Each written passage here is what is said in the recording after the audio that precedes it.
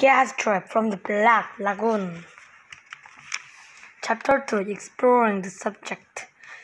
In my history book, I learned a lot about some famous class traps. Lewis and Clark's class went across America.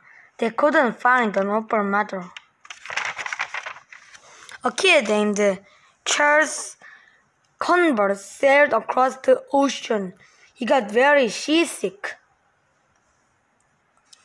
Marco Polo walked to China. He met the real em- em- emperor. Pierce Brad class went to the South Pole.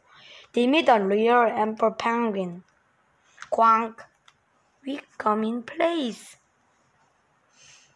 Engineer Armstrong. Armstrong went all the way to the moon. He didn't meet anybody. Hello?